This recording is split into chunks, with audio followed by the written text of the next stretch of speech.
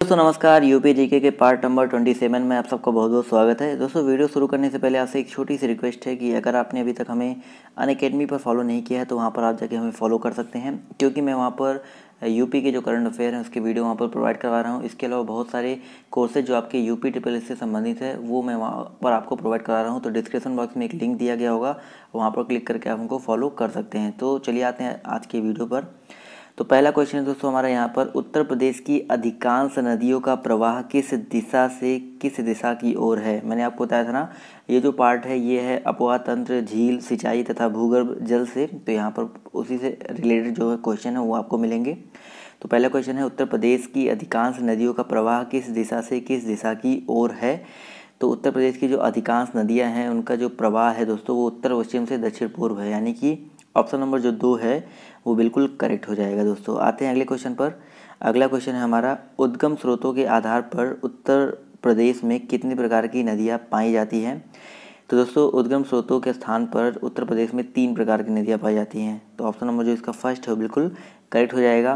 पहला जो होता है हमारा, वो हिमालय के विभिन्न श्रेणियों से निकलने वाली नदियाँ जैसे गंगा, यमुना, काली, रामगंगा, घाघरा।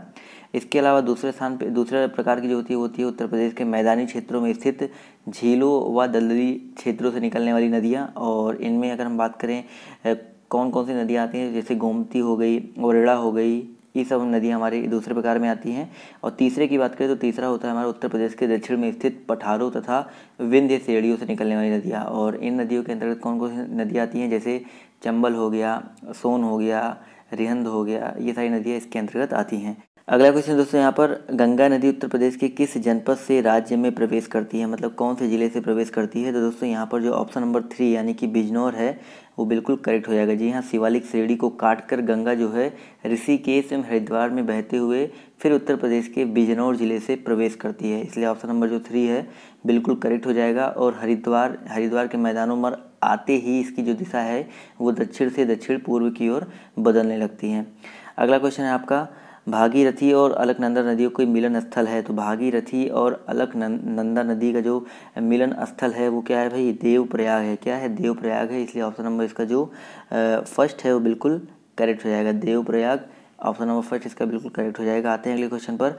उत्तर प्रदेश का कौन सा जिला गंगा के किनारे स्थित नहीं है? उत्तर प्रदेश का कौन सा जिला गंगा किनारे स्थित नहीं है? तो मुजफ्फरनगर, अलीगढ़ और एटा, ये हमारे गंगा किनारे स्थित हैं, लेकिन गोरखपुर जो है वो गंगा के किनारे स्थित नहीं है, इसलिए उसका ऑप्शन नंबर जो फोर है, वो बिल्कुल करेक्ट हो जाएगा। आते हैं क्वेश्चन नंबर छः पर। गंगा नदी राज्य के किस ज़िले से बिहार में प्रवेश करती है? किस ज़िले से प्रवेश करती है? तो दोस्तों, गंगा नदी राज्य के किस ज़िले से? तो बलिया बलिया ज़िले से बिहार में प्रवेश करती है।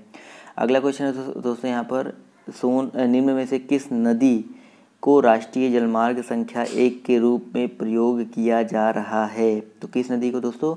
गंगा नदी को। तो ऑप्शन नंबर इसका जो फ़र्स्ट है, बिल्कुल करेक्ट हो जाएगा। गंगा नदी के इलाहाबाद से हल्दिया तक के भाग को राष्ट्रीय जलमार्ग संख्या एक घोषित किया गया है। इसकी कुल लंबाई पूछी जाती है तो 1620 किलोमीटर है। और यह देश का सबसे लंबा आंतरिक जलमार्ग है। वर्तमान में कुल छः राष्ट्रीय जलमार्ग अपने भारत देश में हैं।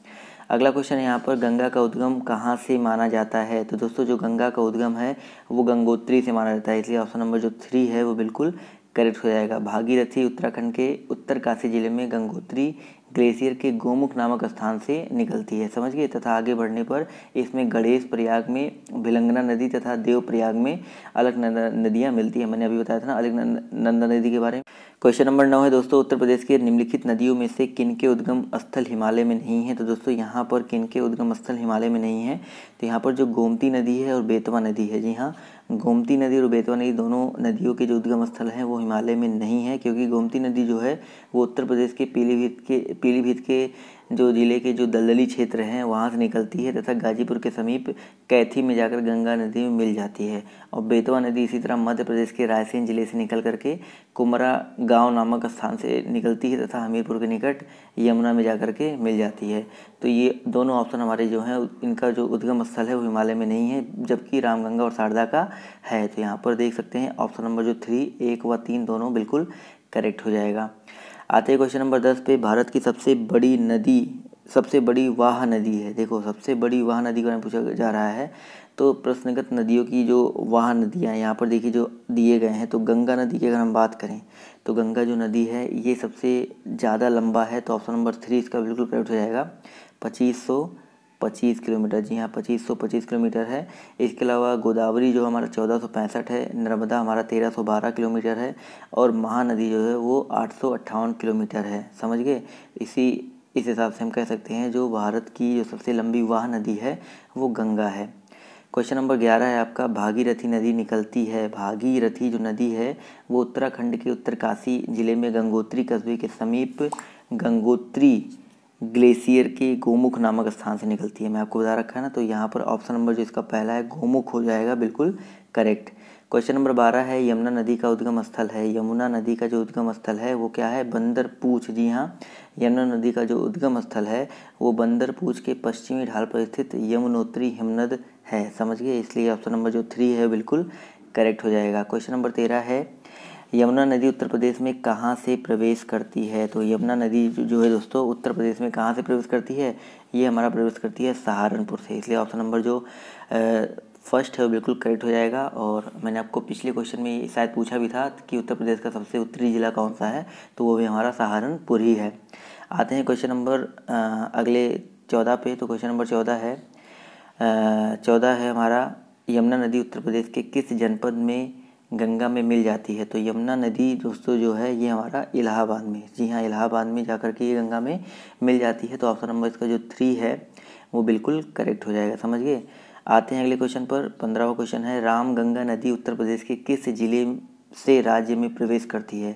राम गंगा नदी जो है, उत्तर प्रदेश के किस ज़िले से राज्य में प्रवेश करती है?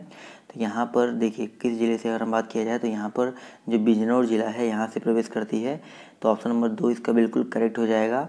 और अगर इसके बाद थोड़ा सा डिटेल में बात करें तो यहाँ पर इसका जो आंसर होगा रामगंगा जो नदी है, वो पौड़ी ज़िले के दूधा तोली पर्वत के जलागम क्षेत्र से निकलती है तथा बिजनौर ज़िले के कालागढ़ किले के निकट मैदानों में उतरती है। समझ गए?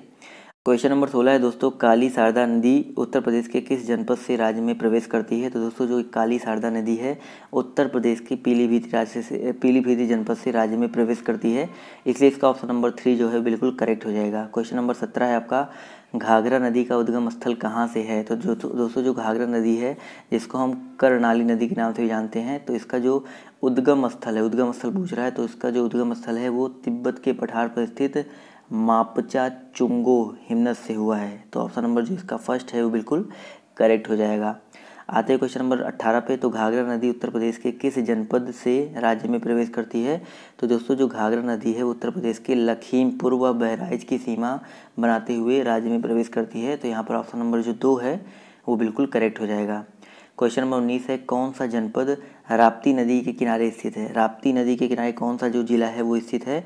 तो दोस्तों, जो गोरखपुर है, वो राप्ती नदी के किनारे स्थित है, इसलिए ऑप्शन नंबर जो थ्री है, वो बिल्कुल करेक्ट हो जाएगा। राप्ती नदी जो है, वो नेपाल के पिछले भाग की लघु हिमालय श्रेणी के दक्षिण में रुकुम कोट के समीप निकलती है। इसकी मुख्य सहायक नदियाँ जो हैं, नदी जो है, वो रोहिड़ी है, जो गोरखपुर में राप्ती के बाईं ओर मिलती है। आते हैं क्वेश्चन नंबर बीस पे तो क्वेश्चन नंबर बीस है, गोमती नदी का उद्गम स्थल कहाँ है? तो दोस्तों, गोमती जो है, वो एक स्थलीय नदी है और इसका जो उद्गम स्थल है, वो है पीलीभीत, इसलिए उसका ऑप्शन नंबर जो फोर है, वो बिल्कुल करेक्ट हो जाएगा। समझ गए दोस्तों? आते हैं अगले क्वेश्चन पर। इसके अलावा मैंने आपको काली नदी के बारे में बताया था, जो कि पीलीभीत ज़िले से, में अपने क्या बोलते हैं, जनपद से प्रवेश करती है अपने उत्तर प्रदेश में और गोमती नदी का जो उद्गम स्थल है, वो भी पीलीभीत ही है। क्वेश्चन नंबर इक्कीस है आपका। इक्कीस कह रहा है, गंडक नदी का उद्गम स्थल कहाँ है? तो जो गंडक नदी है दोस्तों, उसका उद्गम जो हुआ है, वो नेपाल हिमालय से हुआ है, इसलिए इसका ऑप्शन नंबर जो थ्री है, वो बिल्कुल करेक्ट हो जाएगा। क्वेश्चन नंबर बाईस दोस्तों, चंबल नदी का उद्गम स्थल कहाँ है? तो दोस्तों चंबल नदी का जो उद्गम स्थल है, वो हमारा मध्य प्रदेश है। जी हाँ ऑप्शन नंबर जो इसका दो है, वो बिल्कुल करेक्ट हो जाएगा। मध्य प्रदेश में इंदौर के पास महू नामक स्थित जनापाव पहाड़ी से हुआ है, चंबल नदी का उद्गम स्थल। क्वेश्चन नंबर तेईस है, चंबल नदी राज्य के किस जनपद के पास यमुना से मिल जाती है? तो दोस्तों, बहुत ही इंपॉर्टेंट क्वेश्चन है और यहाँ पर जो चंबल नदी है, वो अपने राज्य के इटावा जनपद के पास यमुना से जाकर के मिल जाती है। तो इसका ऑप्शन नंबर जो फ़र्स्ट है, वो बिल्कुल करेक्ट हो जाएगा। क्वेश्चन नंबर चौबीस पे आते हैं। बेतवा नदी किस जनपद में यमुना नदी से मिल जाती है? तो दोस्तों, जो बेतवा नदी है बेसिकली इसको संस्कृत में बेत्रवती कहा जाता है और यह मध्य प्रदेश में भोपाल के दक्षिण पश्चिम से निकलकर भोपाल, ग्वालियर, ललितपुर झांसी और जालौन से होती हुई हमीरपुर के निकट यमुना नदी में जाकर के मिल जाती है। इसलिए इसका जो ऑप्शन नंबर कौन सा? दो है हमीरपुर। बिल्कुल करेक्ट हो जाएगा। इसकी जो कुल लंबाई है, वो 480 किलोमीटर है। अब आते हैं आज के होमवर्क पर। आज का होमवर्क है, बिहार जलप्रपात किस नदी पर बना है? तो आपको कमेंट करके बताना है, किस नदी पर बना हुआ है। सो गाइज़ आज की वीडियो में सिर्फ़ इतना ही। अगर आपको वीडियो पसंद आई हो तो प्लीज़ वीडियो को लाइक कीजिएगा। और चैनल पर नए हैं तो रेड कलर के बटन को दबा करके सब्सक्राइब करना मत भूलिएगा। तो अभी के लिए बाय टेक केयर जय हिंद, जय भारत।